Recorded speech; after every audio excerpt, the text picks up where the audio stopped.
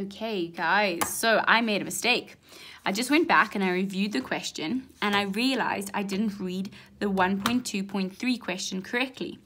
Look what it says. It says, how long to the nearest minute will it take to fill a half empty trough, right? So it's already got half the water in it, right? So what we need to do here is instead of rounding it off at this stage, right, to 33 minutes, we say that's how long it takes to fill, right, to fill the whole trough. Okay, so how long is it going to take to fill half a trough? We say 33.4482, whatever we got there in our calculator, divided by 2, right?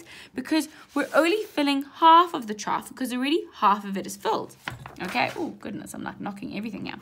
Okay, so when you divide that by 2, not by 7, by 2, okay, you get 16.7241 minutes.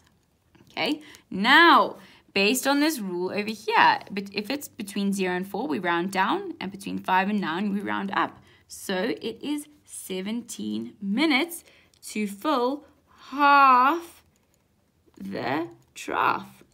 So this is a lesson in reading the question, right? If you had done what I'd done in the previous video, you would have lost some marks because you didn't read, right? It said half empty. So it's very important. The answer here is 17 minutes. Okay.